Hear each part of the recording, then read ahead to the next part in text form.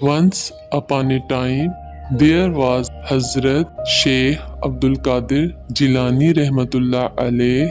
He was going to Baghdad to get knowledge. That on the way, robbers attacked their convoy. A robber asked him, Do you have anything? He told the truth that I have Ashrafiyas.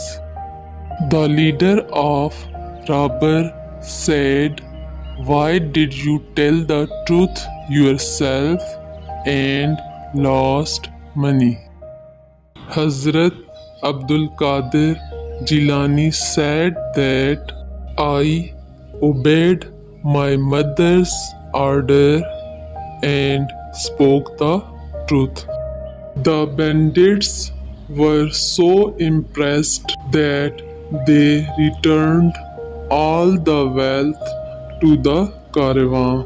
The robbers thought that this child did not disobey his mother's order, and we disobey our Lord. They repented from committing robberies in future. Moral With the blessing of truth, the man comes to the straight path. By truth, the man is saved from eternal loss.